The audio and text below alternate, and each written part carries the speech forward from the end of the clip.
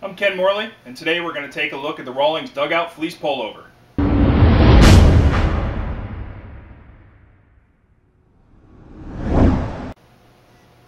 The Rawlings Dugout Fleece Pullover is a nice new item. It's uh, competitively priced and offers a lot of nice features.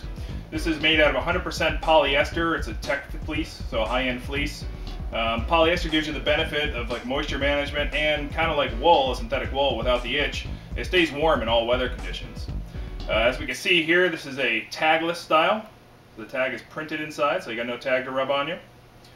The bottom on this has a nice curved hem for comfort and fit.